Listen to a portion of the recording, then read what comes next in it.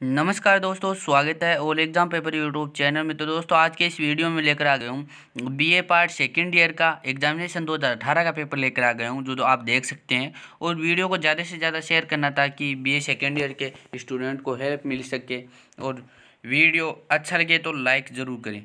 तो ये political science first का पेपर आप आपके सामने देख सकते हैं। अब क्वेश्चन की बात कर लेते हैं। तो अति लघुरात्मक क्वेश्चन की बात कर लेते हैं तो आ जाता है। पहला क्वेश्चन आ जाता है, ब्रिटिश संविधान के दो आपको लक्षण या विशेषता लिखनी है। दो नंबर क्वेश्चन आ जाता है कि कानून के शासन को आपको परिभाषित करना है। तीन नंबर क्वेश्चन आ जाता है कि राजमुकुट से क्या अभिप्राय है। चार नंबर क्वेश्चन आ जाता है, छाया मंत्रिमंडल को आपको परिभाषित करना है। पाँच नंबर क्वेश्चन आ जाता है, ब्रिटिश दल प्रणाली की दो विशेषता लिखनी है। छः नंबर क्वेश्चन आ जाता है पॉकेट विटो क्या है, सात नंबर क्वेश्चन आ जाता है, अमेरिका की संघीय व्यवस्था की दसों विशेषताओं को आप लिखनी है आठ नंबर आठ नंबर क्वेश्चन आ जाता है कि अमेरिकी सीनेट की सदस्य संख्या कितनी होती है?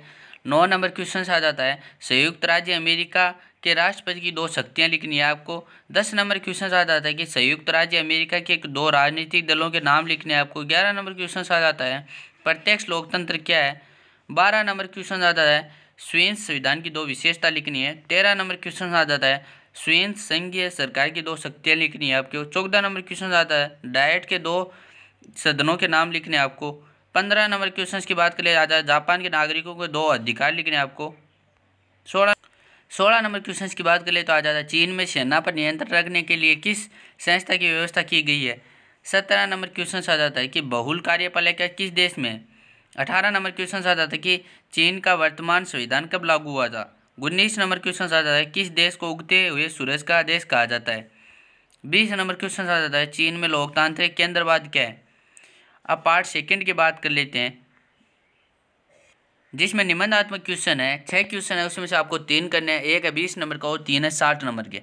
तो आप बात कर लेते हैं निबंधात्मक क्वेश्चन की। तो फ़र्स्ट क्वेश्चन निबंधात्मक आ जाता है। ब्रिटिश संविधान, विवेक तथा सहयोग की संतान है। इस कथन को विश्लेषण आपको करना है। और इसके अथवा में आ जाता है कि ब्रिटिश प्रधानमंत्री की दो शक्तियाँ और कार्यों की विवेचना करनी है। अब सेक्शन बी की बात कर लेते हैं, उसमें आ जाता है, तीन नंबर क्वेश्चन आ जाता है कि संयुक्त राज्य अमेरिका की संविधान की विशेषताओं का वर्णन करना आपको। इसके अथवा में आ जाता है कि अमेरिकी सीनेट विश्व के द्वितीय सदन में सर्वाधिक शक्तिशाली इस कथन की विवेचना करनी है आपको। और आगे पाँच नंबर क्वेश्चन आ जाता है। निबंधात्मक पाँच नंबर क्वेश्चन आ जाता है कि स्विट्जरलैंड प्रत्यक्ष लोकतंत्र अगर इस कथन को विवेचना कीजिए और इसके अथवा में आ जाता है छः नंबर क्वेश्चन की जनवादी चीन के राष्ट्रपति के कार्यों एवं शक्तियों की विवेचना कीजिए। तो दोस्तों, ये था आपका पेपर। तो वीडियो को ज़्यादा से ज़्यादा शेयर करना और वीडियो अच्छा लगे तो लाइक ज़रूर करना और नए हो तो चैनल को सब्सक्राइब ज़रूर करना। और इसकी पीडीएफ चाहिए तो हमारे टेलीग्राम ग्रुप में ज्वाइन हो सकते हो नीचे डिस्क्रिप्शन में लिख के। धन्यवाद।